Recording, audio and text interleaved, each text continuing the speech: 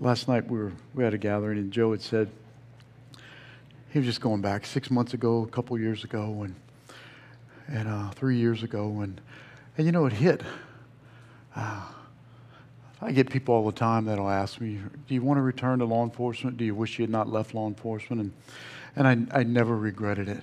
Uh, I didn't because the Lord told me to retire, and I did.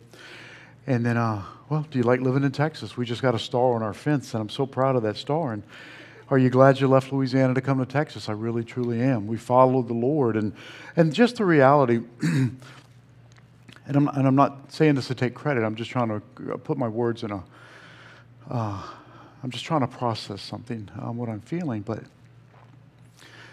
we've all had those moments. Um, I realized that if 10 years ago I'd not said yes, just yes, that I would not know any of you. Most of us would not know each other. and, and it's not because of me. Um, I just want to show you that, that God's return on obedience never ends. A simple yes. Yes, I will retire. Yes, I will leave my hometown. Yes, I will move to a place that I've never been before. Yes, we will do ministry in our house and let 200 people a week destroy it. Yes, we will plant a church. Yes, we will move to Midlothian. Um, it's a little overwhelming. The power of a simple yes to the Lord's calling. I want to encourage you in those times of doubt when the natural economy doesn't make sense you may not understand the supernatural significance of it all. Simply say yes. We don't have to know all the details. Like this. This is good. So thank you. We do appreciate being appreciated. It makes us uncomfortable, but like, like blessing people, uh, we would never block a blessing. So thank you. So let's get into the word today. It is a good word. Um, we're back in the Gospel of Mark. You know, it's so fitting as the Elder Scott is, is sharing, uh, leading us through the observation of communion, that what we're going to talk about today is literally uh, about 48 hours at the most away from, from this, uh, when Jesus gives the instruction for communion. Uh, we are literally walking through the last week of Jesus' life on earth. So, you know, I'll just recap the tithing and giving series. Uh, it really was. It was about relationship through a reverent fear of our holy God. I want to share the, the word, the revelation that, that broke uh, the series and broke the fast. It, it, comes from Acts 5 11, 12, and I shared this last week. Um, so, so great fear came upon all the church and upon all who heard these things, continuing power in the church and through the hands of the apostles, many signs and wonders were done among the people, and they were all with one accord in Solomon's porch. Remember, Solomon's porch is a section outside the temple. It was the church, it's where they gathered. But I wanted to show you that when I was preparing for last week's message, the Holy Spirit gave me this as the last section of our three week teaching on tithe and giving. But it comes down to a holy fear. I'm going to say it so I don't have to say it the rest of the message. Jesus is not your boyfriend. It's not about warm and fuzzy emotions. It is the Lord demands reverent fear. He is a holy God set apart. And in the new church, when holy fear came upon the body, they didn't scatter. Power continued through the church. Continued. I will remind you that God moves in atmospheres of holy, reverent fear of the Lord. You're missing a little zing in your, in your faith walk? This is a good opportunity. Are you approaching your relationship with the Lord in fear? And I don't mean being afraid unless you're, you're sinning, then you should be afraid, but you can repent and come back. But I'm talking reverent fear, respect, awe of a holy God. Don't treat him like he's every day. Don't treat him normal. So, that whole series, that was a word from the Lord. That was to teach us as believers in the corporate body that we've got to gain an eternal perspective on everything from the tithe to salvation. This is what we're going to talk about today. We're going to talk about putting on your God goggles and gaining a biblical worldview. What I will tell you is you will never, ever, ever see the world the same way again. The one thing that the Lord put on my heart for this message today is prophecies are, are like seeds of future truth planted that once blossomed reveal Jesus' divinity. And why is this important to you? Well, prophecy is a gift of the Holy Spirit. You can minister the prophetic and you can be ministered to in the prophetic. We've got three solid, trusted prophets of the house. We've got other folks that have been called into, uh, into, into a ministry of prophetic. But I am telling you that the Lord has given us prophecy as a gift to edify the body. I'm going to show you that Jesus, the prophet, uses prophecy so to reveal himself in the divine. So our anchor scripture for today, and it's it's Mark 13, 1, 2, like two lines of scripture. We could spend a month here, but let's stand together because every word matters, as Elder Scott uh, illustrated in, the, in, the, uh, his communion. So let's read this together. This is from Mark 13, 1, 2. Jesus predicts the destruction of the temple, and let's read together. Then, as he went out of the temple, one of his disciples said to him, Teacher, see what manner of stones and what buildings are here.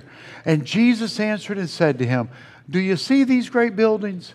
Not one stone shall be left upon another that shall not be thrown down. That is a good word. That is a good word. I want to tell you that, that prophecy stretches your vision. You see, Jesus regularly made prophetic declarations leading up to his crucifixion. Like prophecy grows the hearer's faith in God and his eternal word, and it promotes a desire for the gift of the Holy Spirit. Like, like today, we're going to talk about gaining an eternal perspective, changing your worldview, the way you see things. Like, if we're being honest, we will get so excited when somebody uh, predicts a sports score. Not the over under, but I mean the score. But we fail to bank our faith on the eternal things above. You see, how do we look beyond the chaos of a crumbling world? It's so easy to get locked in to the, to the what's going on. We're about two weeks away from a, from a very important election cycle. It is so easy to get locked into the chaos and the propaganda. So, how do we look beyond that? How do we keep an eternal perspective? It's by elevating your vision. I am challenging you to learn to put on your God goggles in your life so you see Christ through His eyes. You see God the way God wants to be seen. We do this, Colossians tells us 3 1 uh, 2. It's about not carnality, but Christ. If then you were raised in Christ, seek those things which are above, where Christ is, sitting at the right hand of God. Set your mind on the things above, not on the things of this earth. It's okay to be aware of what's going on, but we can't become a part or a victim of the going ons. We've got to learn to keep an eternal perspective. So I want to I want to bring you up to speed. Like I said, we are chronologically in the last week of Jesus' life on earth. Um, teaching wise, it will probably take us a good six months to walk through the entirety of this. So it's important to always remember where we're at, where we're heading. You see, today, what we're going to do is we're going to join Jesus as he sits on the Mount of Olives, opposite the temple. But I want you to remember again, it's so important that this is Jesus' last chronological week on his life on earth. Like his mission is to reveal himself during this week. He is no more, they're called the Davidic secret, when he would heal somebody. Hey, but don't tell nobody because at the time it wasn't time. Now's the time to reveal who he is. He is the prophesied Messiah. I will tell you that his life fulfilled anywhere from 400 to uh, over 500 and something prophecies from the Old Testament. You can Google, there is no other major religion, ma- religion that has ever been in existence that has the fulfillment of so many prophecies. Prophecy, what it does, it builds a sense of anticipation in God's coming glory. And it gives affirmation of faith when the event comes to pass. I will tell you, if every Sunday you're not running up here to grab the $90, to grab the ministry from a prophet, you're missing out. You're missing out. It is a gift from God. They have been giving, given a gift from God. And they have said yes to receiving the gift from God. I will tell you, if you've ever received a prophetic word, it builds anticipation and excitement. And then when the event comes to pass, it gives affirmation that God's word's good. I want to encourage you, I want to encourage you to, to partake of the gift of the prophets. We all also have the gift of prophecy through the Holy Spirit. So back to Jesus, the prophet. He's had a busy week, I think, if we can all say. This is a critical time in Jesus' life. I want to make sure that we're up to speed on the events. We also, we traditionally call this Holy Week. What I encourage you is to go back and read Mark, the cha- chapters 11 and 12. Also, if you go to the website or you go to the YouTube channel, all the teachings uh, from Mark 11, 12, actually, all the teachings from the day we started, uh, but on there, but particularly take the time because we took a three week pause to go to, go to that other lesson. Um, on the website and on YouTube, the, every message from chapters 11 and 12 are there. I encourage you to, to get caught up, to stay current in where we're at. So, just to summarize, if we remember, we came back after our Summer of Love marriage series. Uh, we started Palm Sunday when Jesus arrived on a colt, uh, and, and we moved through that to where he had all those debates with the Pharisees and the Sadducees and the Sanhedrin Council, um, the Herodians, and even the scribes. We went through all that, even to the point where he watched the widow give from her whole livelihood. And now Jesus has been nonstop towards his rescue mission. Jesus is singularly focused. I tell you, on my SWAT days, we did a hostage rescue. We didn't bother telling nobody to get on the ground. We were singularly focused on the rescue. Jesus is singularly focused on your rescue. This is what he's doing. And it brings us here today as he exits the temple. Like, like let's just let's be real for a moment. Just think, put yourself in Jesus' sandals all the controversy, all the challenges, all the disrespect that he's put up with, just standing in the temple, trying to teach the truth of the word. It didn't stop, it was relentless. This is what Leah calls, I'm peopled out. She gets to a point, she's an introvert, and she goes, I'm peopled out. And physically, she cannot even force another word or coherent thought to come out of her head. I get it. This has got to be close to where Jesus is. One after another after another. And look, they're not just trying to get information or a soundbite from him. They are trying to find something to conflict, to bring him to crucifixion, to bring him to execution. They've got a, they've got a situation in their mind. They're, they've got to kill Jesus. They've got to kill him. But they don't have the authority. The Roman government will give them the authority, but they've got to bring even trumped up charges, you see. They're not just trying to win an argument, they're trying to put him to death. If you can, we've had days similar to that. I wouldn't say days like that, but when it just doesn't stop. This is where Jesus is. Jesus is carrying the weight of destiny, he's carrying the weight of his calling. Jesus has the character to carry that calling, but it doesn't make it any less heavy to carry. You know, I want to encourage you as an equipping moment. You too are people of destiny. You too carry the stain, the mark, the calling of God on your life. You too must continue to, to build your character to where you can carry that calling in your life. The weight of that calling doesn't crumble you like, like, like a house of cards. You grow in your tensile strength. This is what we're called to do. God's got a calling for you. It's not meant to crush you. If you feel like you've been in obscurity or wilderness, or what's He waiting for? He's waiting for you to build your character to carry the calling. So I challenge you to continue to press into the Word, to press into the gifts. Like, like I say, like, what do you do when you just don't feel like doing it? Like when you don't feel like loving your neighbor? What do you do when you don't feel like serving at church? What do you do when you don't feel like waving back at your pastor at the gym?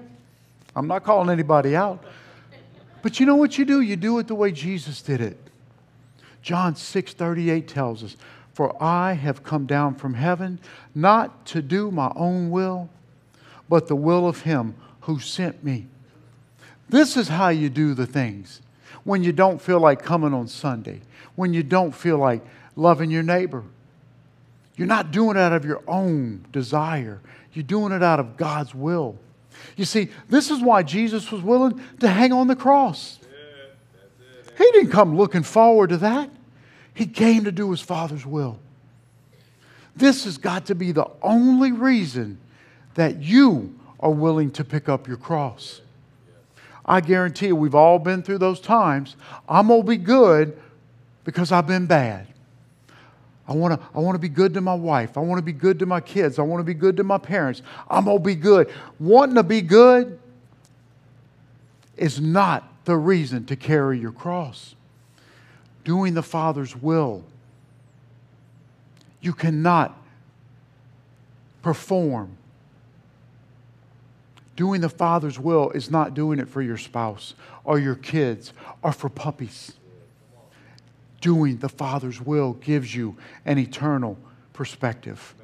And it is only gained by doing God's will. So let's get into our anchor scripture. We're going to start Mark 13 1. Then, as he went out of the temple, one of his disciples said to him, Teacher, see what manner of stones and what building uh, are here. This is another equipping moment. Jesus is exhausted. He is flat exhausted. He is burdened by the realities of what's to come. You just got off of work. You just want to sit in that chair and go to sleep. And your spouse hadn't seen you all day. This is when you've got to, you've got to press into the will of the Father. His disciple simply makes a comment. He's offering a thought on what a, what a beautiful building that is.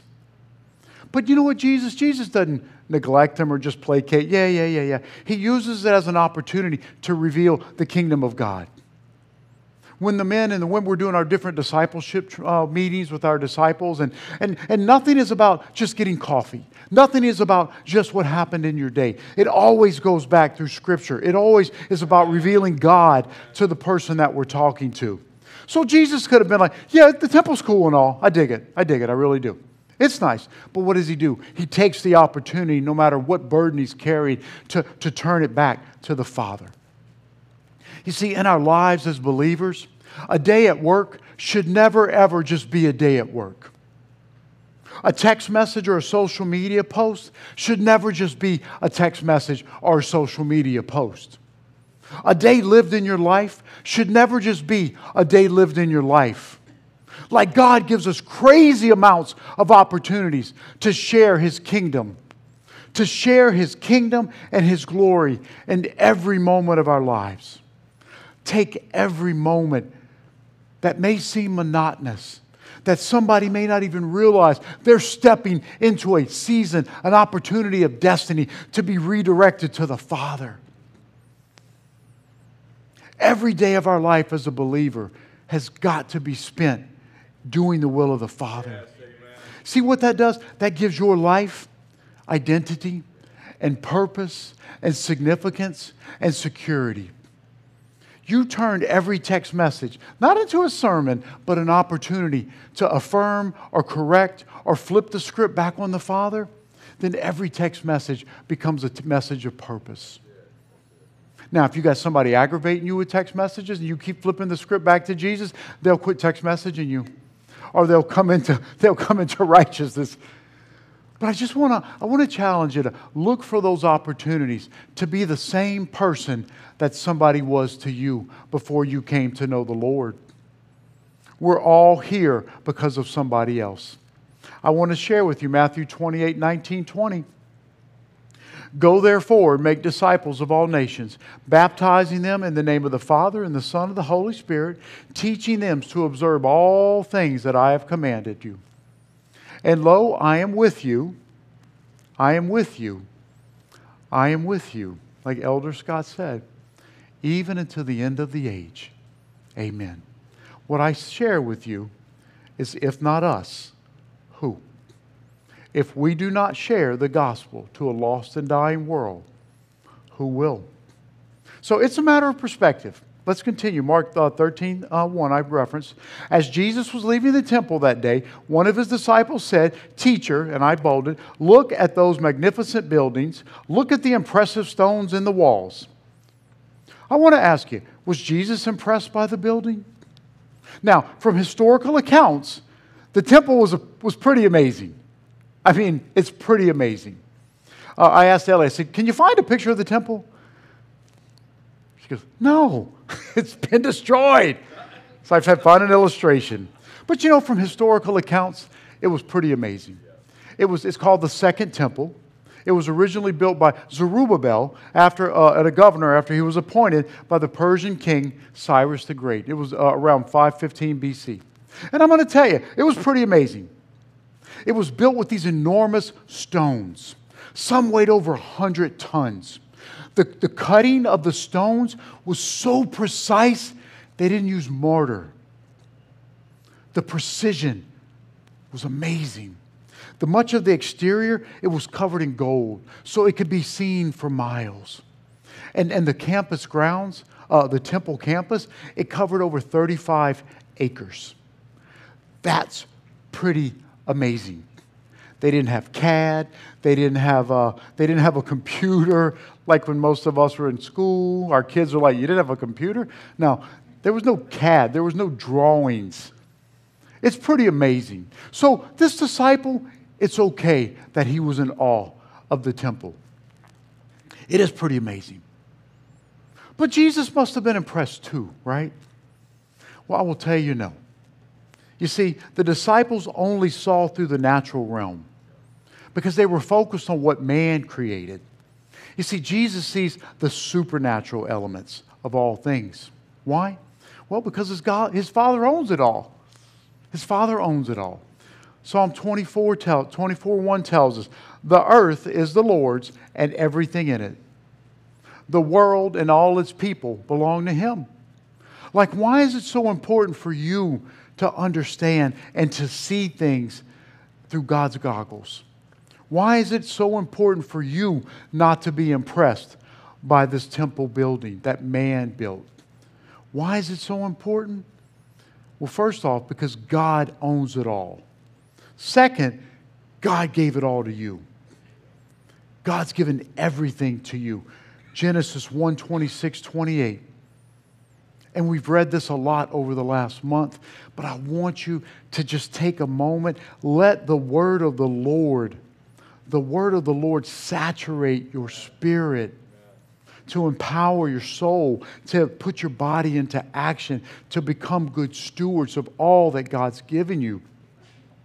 Then God said, Let us make man in our image, according to our likeness. Let them have dominion over the fish in the sea over the birds of the air, over the cattle, over all the earth, over every creeping thing that creeps on the earth.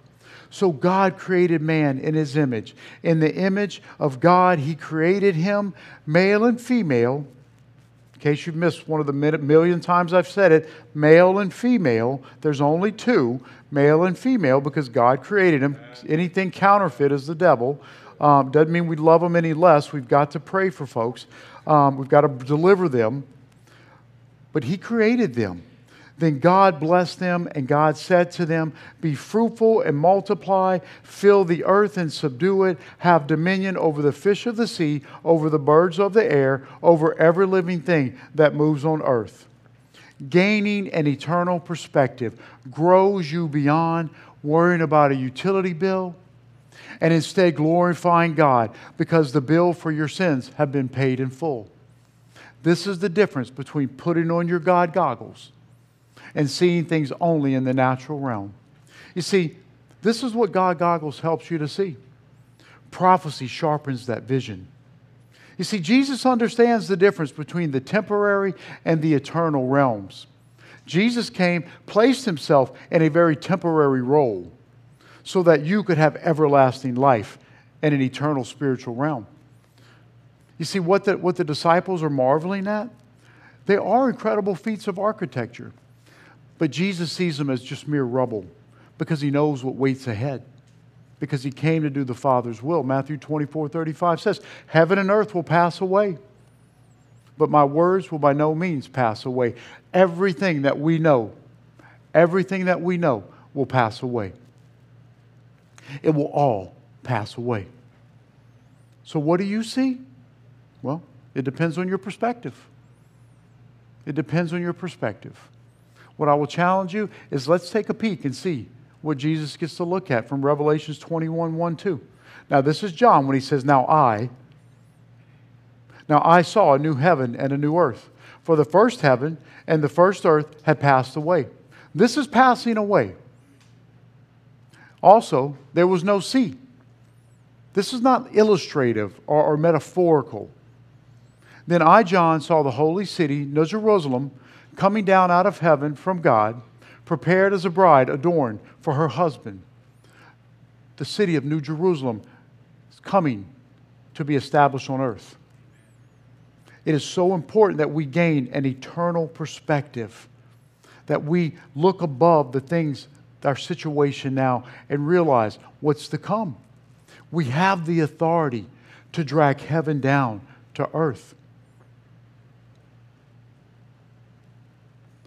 So, what does it look like compared to man's constructed temple? I want to give you the, an illustrative example, a tangible example. What I would challenge you, it's a lot of scripture, but in your own time this week, I want you to read Revelation 21 22 read both chapters. I want you to get a, an exact example of what's waiting for us.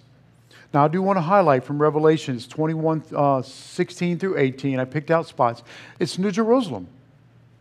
This city is laid out as a square, its length is as great as its breadth.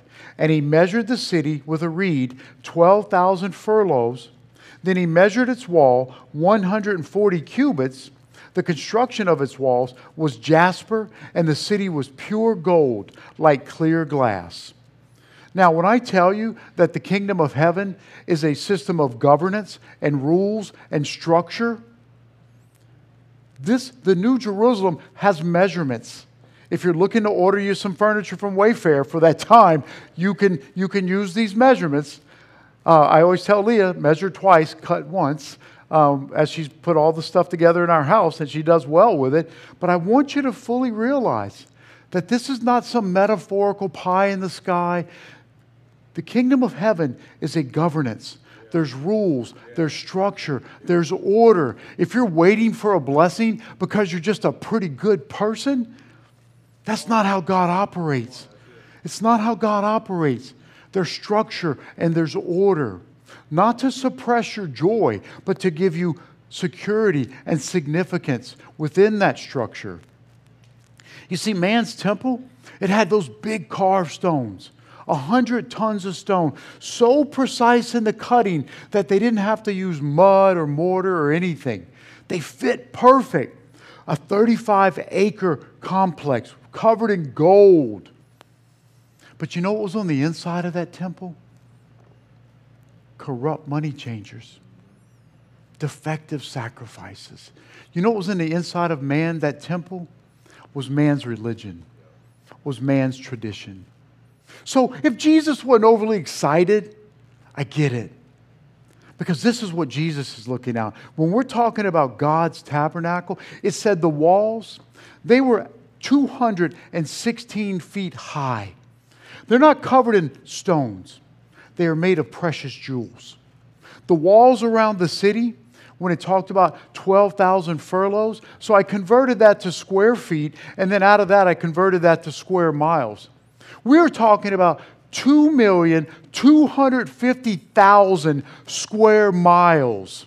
This is New Jerusalem. I want to give you a perspective relative. This is what Jesus is looking at at the temple. This is what Jesus sees through his God goggles as New Jerusalem. How many cities, how many New York cities would fit inside of this? These are questions I ask. 7,437 New York cities would fit within the confines of New Jerusalem. Can you realize now why Jesus wasn't so overly impressed with man made tabernacle? Do you see why we should not be so overly impressed by entertainers and athletes? So, how many people? Well, as of October 2024, the global population was 8.18 billion people. You multiply that times 160 people. We are talking about I don't even know what that number is. Um, well, let me see. Okay. It is 1 billion, 310 million, right? 400, I don't know. Hey, y'all, there's going to be a lot of us. there's going to be a lot of us. Let me ask you a question Should Jesus have been in awe of that man made temple? Should we? No. Should we be in awe of athletes and entertainers? How about celebrity pastors? Come on. Come on. Come on. Unless you put on God goggles, you will. Unless you gain an eternal perspective, you're going to be oohing and awing.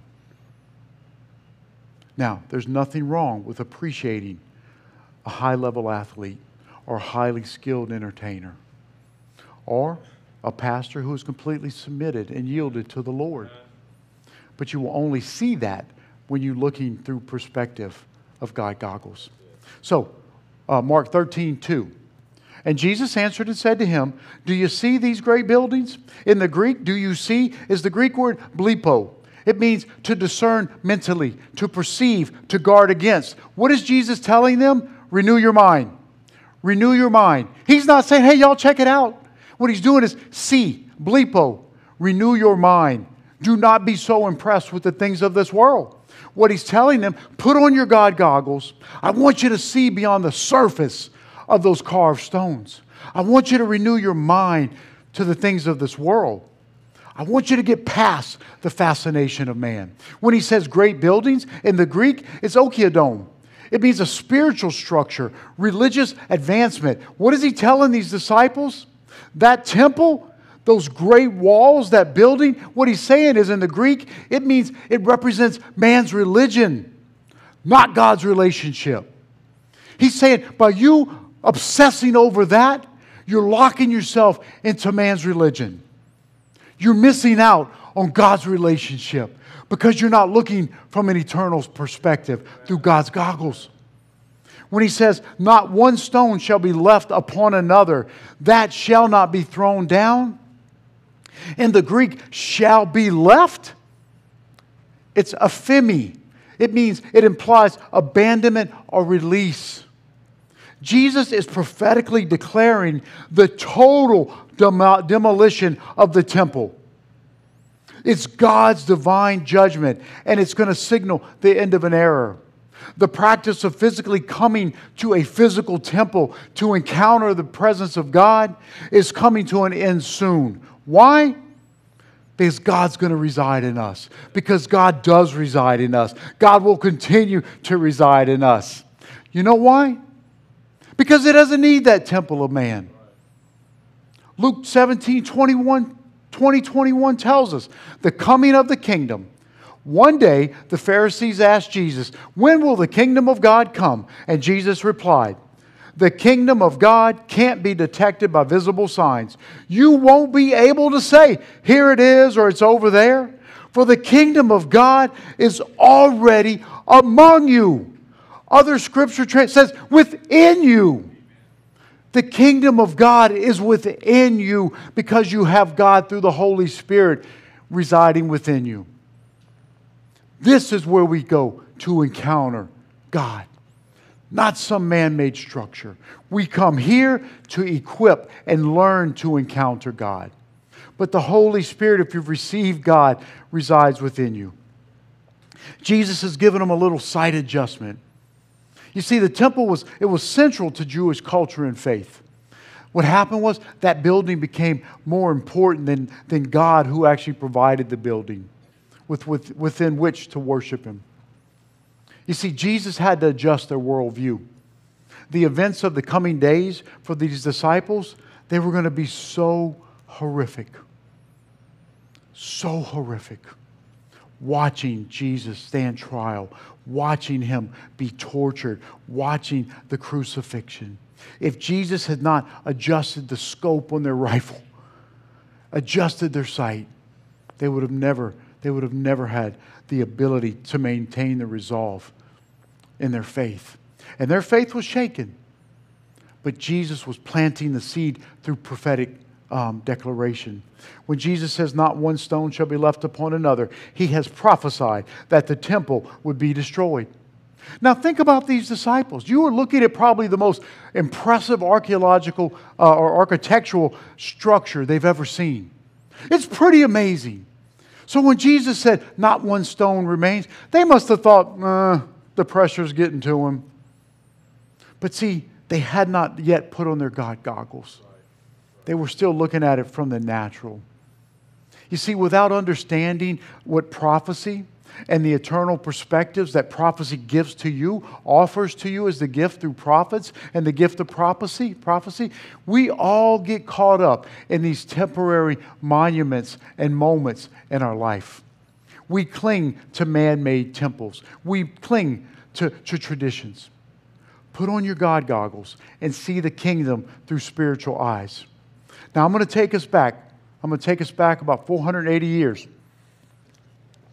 When Jesus says this, when he makes this prophetic declaration that the stones will not be rested upon one another, he is tapping back into Daniel, the book of Daniel, the prophecy. He is going back about 480 years into Old Testament prophecy.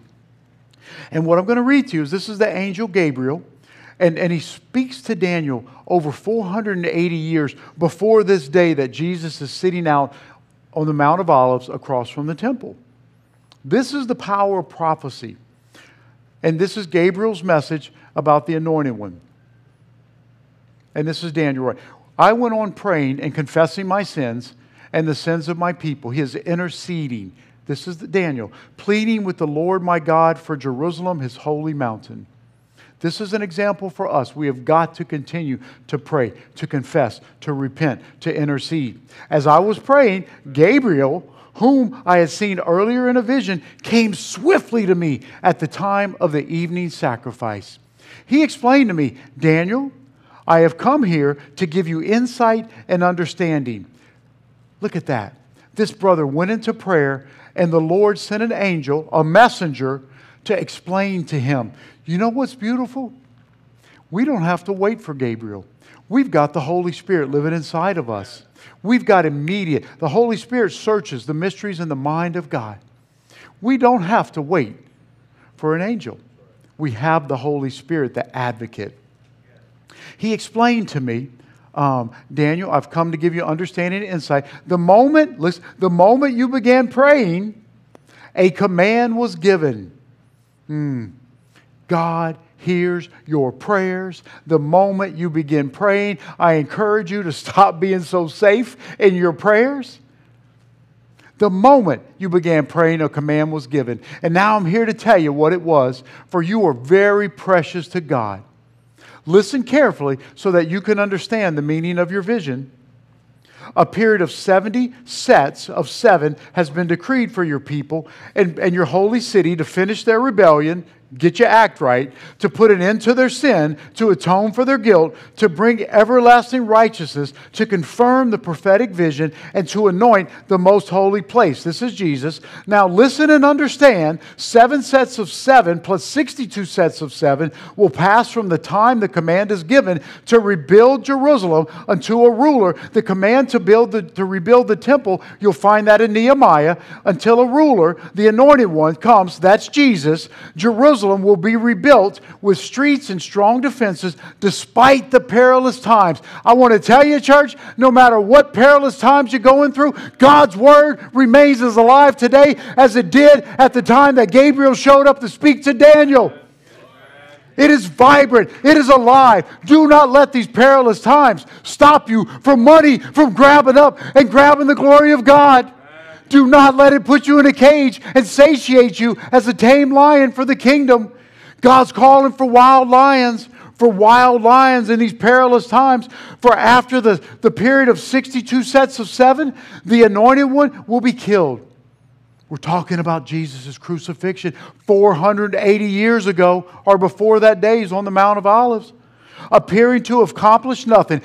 Didn't they think Jesus accomplished nothing? You remember those two old boys on the road to Emmaus? Boo hoo hoo. We thought he was the one. Mm. And a ruler will arise whose armies will destroy the city and the temple. I will tell you in 70 AD, the general, the Roman general Titus, rose up to do what? He destroyed that city and he destroyed the temple. This is 480 years before Jesus is sitting on the mount. Then the end will come with a flood and a war, and its miseries are decreed, and from that time to the very end. This scripture in Daniel is so deep. I wish we could spend a month in that one scripture. I encourage you to go back and read it in its entirety. But I want to make a point. The angel Gabriel told Daniel there was a 490 year timeline, 70 sets of seven, from the temple restart to the destruction. Now, that day, that 490 year timeline, it began when Nehemiah received his order to restore the temple. You can read it for yourself in Nehemiah 2 1 through 8. So, from that time that he received, Nehemiah received the order from the king to restore the temple, to the time that the anointed one came, that's Jesus, and was killed, crucified, to the day that Josephus, Josephus was a Jewish historian who was actually documenting the actions of, the, of this Roman uh, destruction of Jerusalem to the day that the Josephus, the Jewish historian, sat and wrote, documenting the destruction of the city and the temple by the Roman general Titus? It's exactly 490 years. It is exactly 490 years. When I tell you that prophecy stretches your perspective, when I tell you that prophecy links back to Old Testament all the way to the beginning, uh, uh, to the, well, Revelation will, um, the, the resurrection will be, it will be our beginning. I am telling you, you, there's an appreciation in the power of the prophetic word. We cannot discount and discard the Old Testament. I really do. I get so tired of hearing people say, well, that was the Old Testament. Mm. So was Genesis 3:15 when God gave the first gospel proclamation of our salvation. You cannot, you cannot discount the Old Testament because you think it's an old book. Eternity is not old, it's forever. Without Jesus adjusting their perspective through prophecy, they would have simply enjoyed looking at a man made building. And Ellie, I'm sorry I got caught up, and uh, if you want to come up, uh, but we're wrapping up. It is through God's commands, through the prophecies, through Jesus' teaching, that we can put on God's goggles to avoid the rubble of the natural and grasp the glory of God's kingdom. I want to ask, what do you see? What do you see? Well, I will tell you, it depends. It depends on how you choose to look at it. How you choose to look at it. I'm encouraging you as we continue to march in the last week of Jesus' life is going to be some heavy prophecy.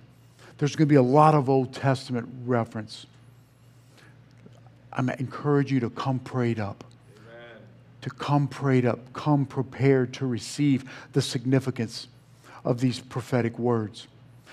Come during worship, plug in to the, to the prophets. There are blessings, there's corrections, there's anointings, there are encouragements, there's words. God wants to stretch your eternal perspective. He wants you to see beyond that utility bill. He wants you to see that your bill for the sin of the world has been paid in full. He wants you to see. Like, I don't want us to be, I'll give you one example.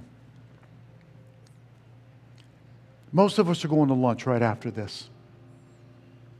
I want you to just, I want you to ask yourself, what's the final bill going to be? Now, listen, you get to pick the restaurant, you get to pick what you order. What's the final bill to the penny going to be? I will tell you that you don't know. I will tell you that you don't know. I want to put it in perspective. We can't even prophesy what's going to happen an hour from now that we have control over. If you don't see the fall down, flat face reverence of the Lord, accuracy of prophecy, then we're really missing. We're missing the power of God. Hmm. So if we can stand together as the body and, and, and allow me to pray us out. I want you to come into here with an awe for the Lord and come out of here with an awe for the Lord. And oh, He's so good. Mm. So I want to I want to make this invitation. If you have not received Jesus Christ as your Lord and Savior, I encourage you to come today to make that decision. I, respect that, that if, you, if you're not comfortable with, with a public proclamation, I encourage you to, to, to meet with our elders and they will explain and they will teach and they will, they will lead you in to receiving Jesus Christ as your Lord and Savior. And the instant, whatever's quicker than an instant, you receive Christ as your Savior, you begin living your eternal life in what was prophesied. So, Lord, I thank you for this time. Lord, I, I pray a blessing over this body for blessing Leah and myself.